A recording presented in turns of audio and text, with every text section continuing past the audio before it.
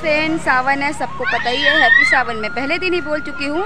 तो आज फिर से एक बार हैप्पी सावन और आज मैंने ग्रीन ग्रीन साड़ी और ग्रीन ग्रीन चूड़ियाँ भी पहनी हुई हैं।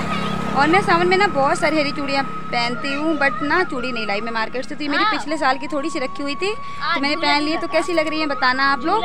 और ये झूला पड़ा हुआ है। देख लो बच्चे झूले झूला झूल रहे हैं। कितना अच्छा लग रहा है ना? और उस उस रोड के उस, उस पार भी झूला लगा है। गाँव में ही तो सावन का असली मज़ा है। वहाँ झूले चारों तरफ़ हरियाली पेड़ पौधे यही तो है असली मज़ा सावन का। तो सावन का मज़ा आप लोग भी ले रहे हैं कि नहीं? एंजॉय कर रहे हैं कि नहीं? आप लोग बताना और फ्रेंड जिसका झूला झूलने का मन करे तो आप लोग झूला ज़रूर झूलना। और मैं अभी झूल कर दिखाती हूँ आप लोगों को।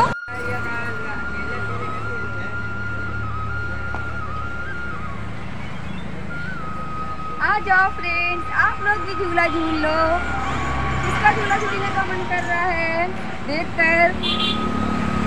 और फ्रेंड्स पता है, मैं बहुत दिनों के बाद झूले पर बैठी हूँ।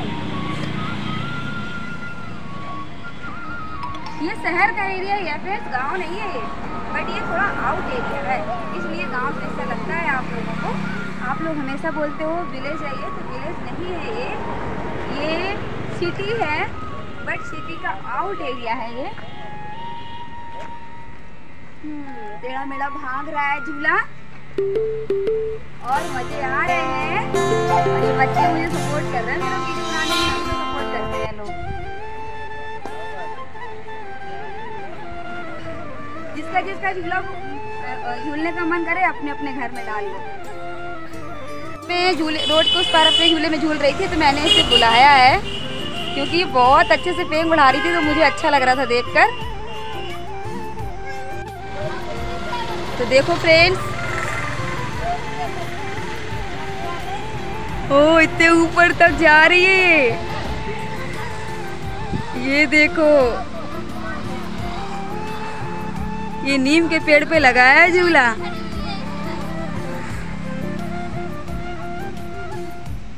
मैं तो नहीं झूल सकती मुझे तो डर लग रहा है देख के उल्टा।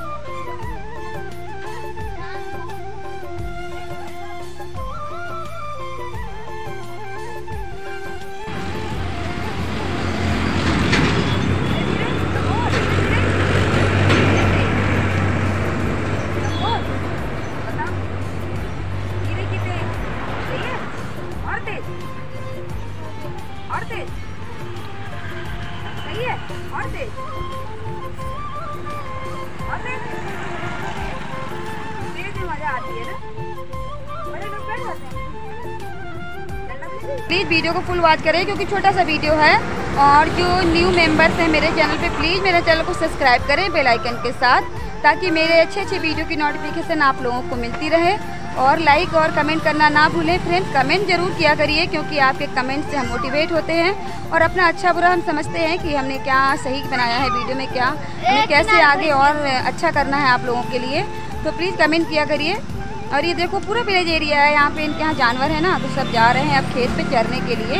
तो भैया लेकर जा रहे हैं।